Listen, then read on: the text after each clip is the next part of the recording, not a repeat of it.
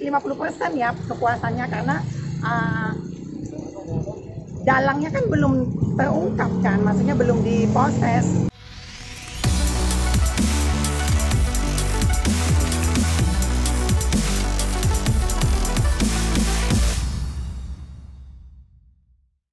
ke Kejari dalam sidang perdana kasus pemukulanku. Oh ini sidang online maksudnya? Sidang online, pengennya sidang ketemu langsung, cuman ya udahlah ya karena corona kan.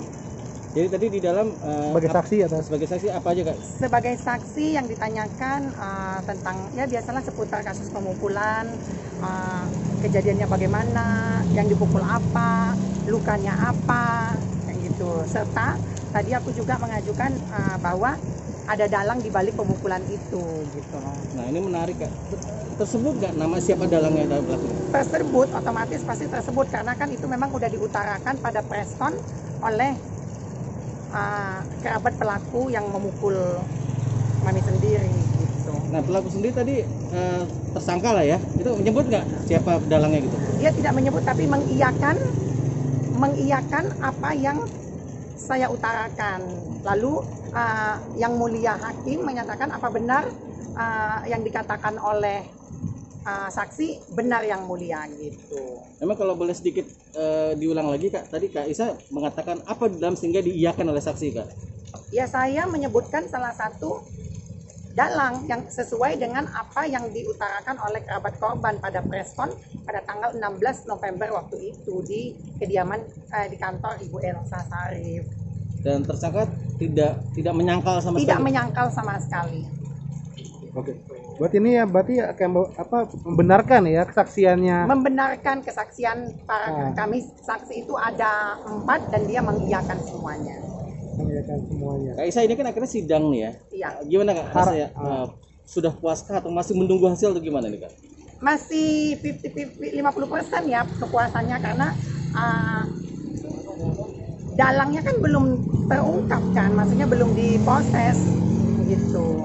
Kak Isa sendiri nanti akan puas dengan sampai di tersangka ini atau dalangnya harus juga Dalangnya harus diproses karena saya juga akan membuat laporan baru dan juga akan mengusut kasus ini sampai tuntas setuntas-tuntasnya. yang dimaksud laporan barunya apa Kak Isa? Ya, Kak Isa? Ya dalangnya, Oh terpisah berarti sendiri ya. iya tadi saya mengajukan ke yang mulia hakim, kata yang mulia hakim ya dipisahkan aja gitu. Jadi buat laporan baru lagi, dipisahkan kasusnya.